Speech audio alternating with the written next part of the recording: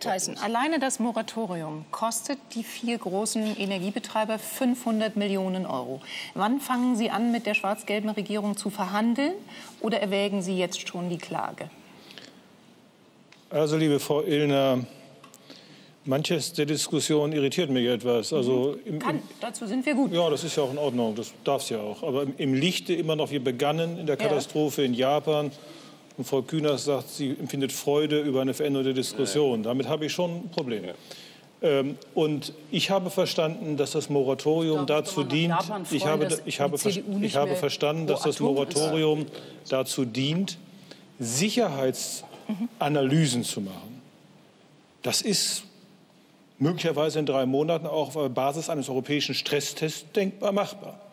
Eine komplette energiepolitische Diskussion zu führen, die möglicherweise auch stattfindet ist ein ganz anderes Thema. Okay, ich versuche die Frage noch mal zu stellen. Sie schalten jetzt für die Zeit des Moratoriums Kraftwerke ab. Das ja. kostet Geld.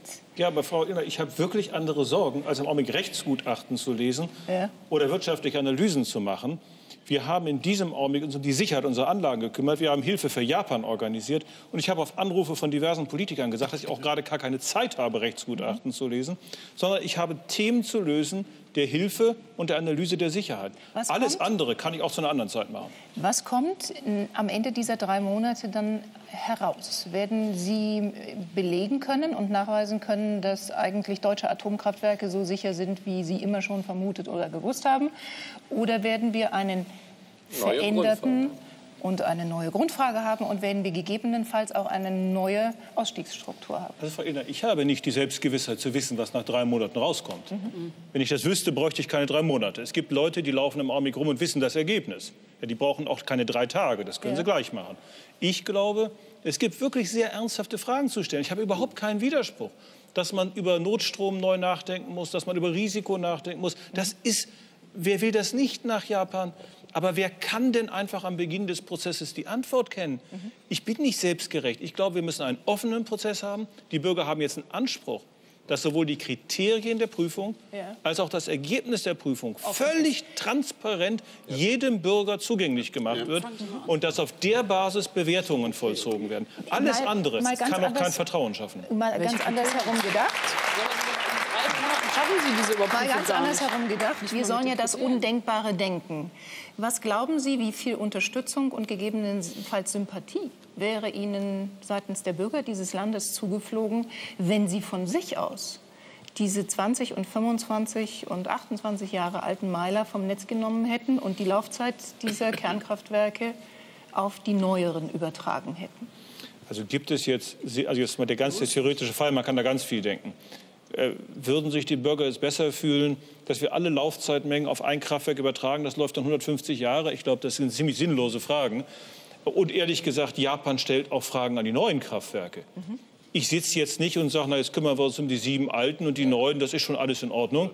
Wir werden zu jeder Anlage aus Eigenantrieb jede Frage stellen. Wir werden uns internationaler Kritik stellen, nicht nur deutscher, sondern auch europäischer Kritik. Und ich weiß nicht, was rauskommt. Wenn aus diesem Test rauskommt, ja. dass eine Anlage vor dem Licht neuer Erkenntnisse nicht sicher ist, würde ich niemals wieder den Antrag stellen, dass eine solche Anlage ans Netz geht. Aber wie, wie will ich das verantworten? in drei Monaten einen Test, wenn ein normaler Test ein bis anderthalb Jahre dauert? Ich glaube, dass Sie da was vorgaukeln. Die Kriterien sind nicht klar, nach welchen getestet wird. Und Sie machen uns vor, innerhalb von drei Monaten würde ein Test passieren, der weit mhm. über ein Jahr braucht, Wir wenn Sie normalerweise ganz durchchecken. Kurz vorher noch mal da kommt das Misstrauen her. Das haben viele andere auch aus dem Ecologic Institute. Herr Krämer, ist es möglich, einen so fundamentalen Sicherheitscheck durchzuführen in dieser Zeit? Und glauben Sie, dass wir am Ende wirklich Veränderungen erleben werden? Also man kann sich mit Sicherheitstests ähm, kurz beschäftigen und schnell zu Ergebnissen kommen. In bestimmten Situationen kann das sehr schnell gehen. Ja. Fehler kann man sehr schnell aufdecken und man kann sich damit auch unendlich viel Zeit lassen äh, und damit bestimmte politische Phasen aussitzen. Beides ist möglich als mhm. Strategie. Mhm. Was wichtig ist, ist hier, Sie erwähnen das Wort Kriterien. Wir müssen die richtigen Fragen stellen.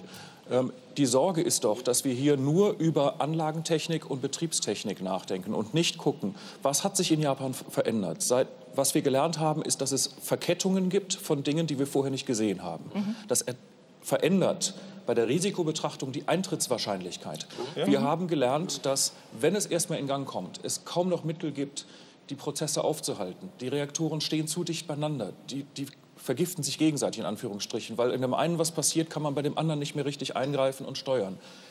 Es ist eine Lehre, die wir jetzt ziehen müssen. Ja. Und es ist uns in Erinnerung gerufen worden, wie hoch der Schaden ist. Es ist nämlich Herr Röttgen, wenn wir vom klitzekleinen Restrisiko sprachen, dann meinten Sie nur die Eintrittswahrscheinlichkeit. Natürlich. Denn die Folgen waren ja immer schon enorm. Natürlich. Und wenn man das miteinander ja. multipliziert, ja. dann das war das Risiko schon immer sehr hoch. Immer so hoch, dass es nie gelungen ist, eine ja. Versicherungslösung für die, die Atombranche hinzubekommen.